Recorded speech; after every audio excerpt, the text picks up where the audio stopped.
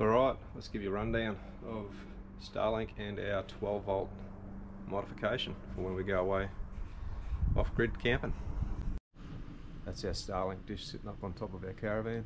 Um, you get it up high so you end up with no obstructions from trees and a nice clear sky uh, for your best results. Get the cable running down there and then hopefully you can see it it runs up and into a little RJ RJ45 connector runs inside the cupboard. Okay so this is our setup inside the caravan. Um, TP-Link Archer router. Um, it's a it's a 12 volt. It runs off a 12 volt DC plug so we can use it. Um, in our system. This here is our power over Ethernet injector. Um, either side of those we have our adapted uh, plugs, um, RJ45 plugs that we that we cut and um, and repin um, to fit the Starlink configuration. And through the back there we've got our uh, Starlink cord um, that's been cut um, and an RJ45 plug put on either side using the Starlink configuration. Um, we've got the step-up converter there, which is a 100 and 192 watt DC DC converter, input 12 volt, output 48 volt. Now that's what, this here is what runs the Starlink dish. Your Starlink dish is actually the modem.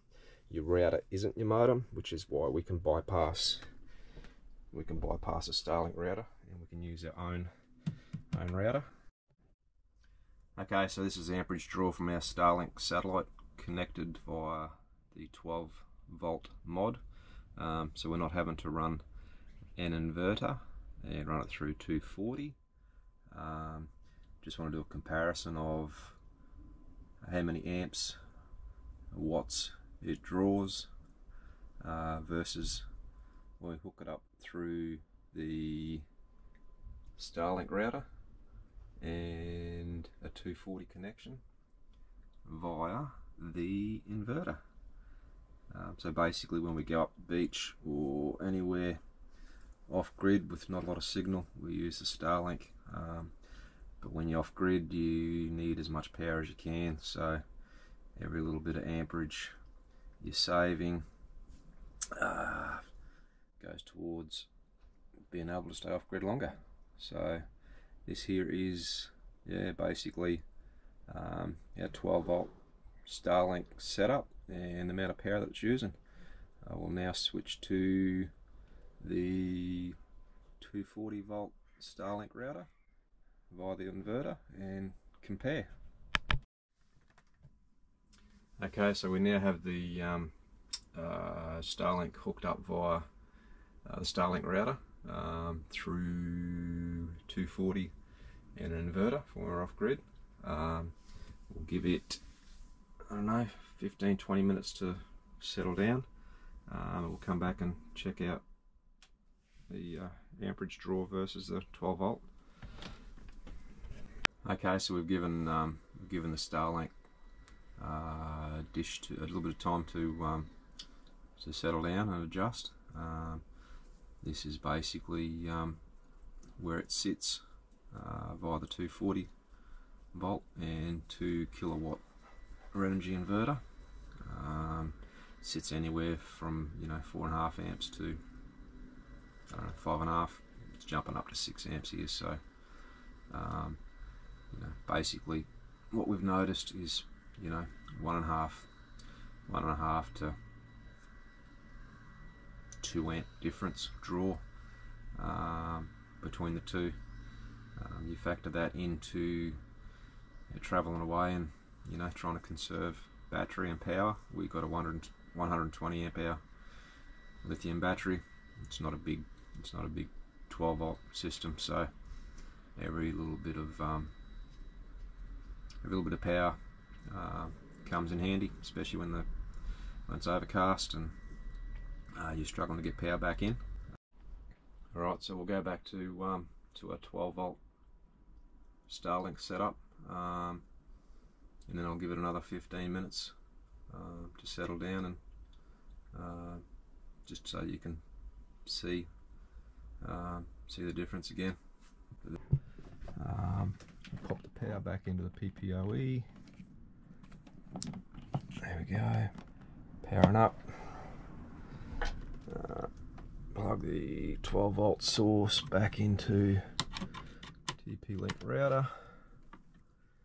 Uh, and then we'll see what goes on. We'll see what goes on here. So router's router's booting up. Um, Starlink dish outside on the caravan. It'll be starting to boot up. It'll be drawing some amperage and power soon. Um, you'll see it start to it's starting to ramp up. The Starlink will use use a fair bit more power in its startup process. That's why we wait 15 minutes for it to 20 minutes for it to settle back down again. And then compare. Um, she's up to 6 amps. We've got up here. Alright you see the router. It's still going through the boot process. Um, this light means it's now got a connection to Starlink but Starlink hasn't got an internet connection just yet so when this goes green we know that we're live on the Starlink network again.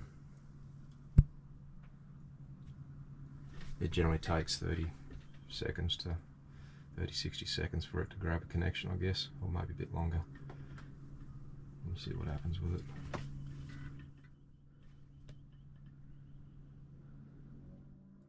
I'll run you through the um, Starlink setup outside as well while we're here mucking around with it. There you go. Starlink's now Starlink's now connected. Um, I'll show you what's going on in the app. Okay you can see um, you can see um, Starlink still gathering obstruction data.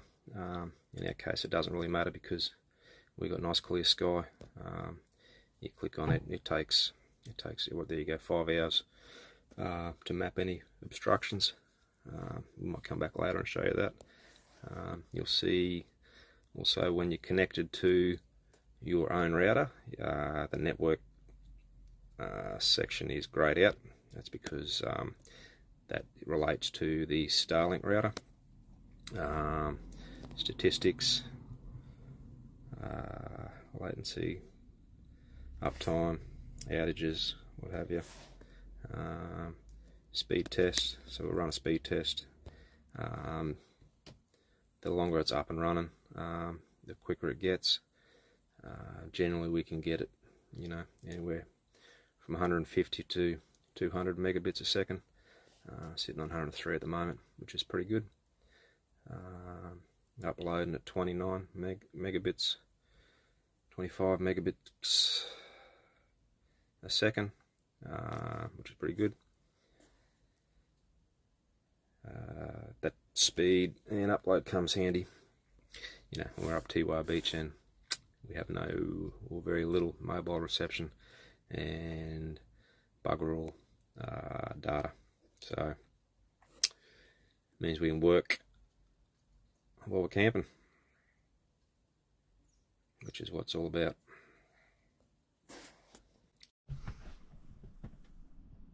Alright, so Starlink's been you know, running for about, I don't know, half an hour on the 12 volt.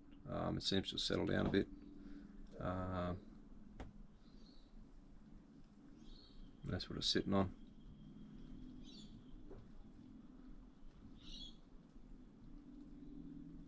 That's a massive saving.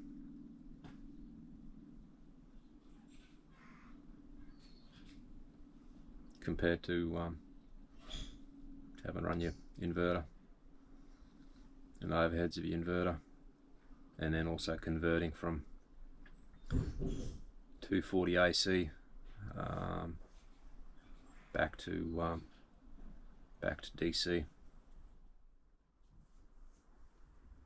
Thanks for watching guys.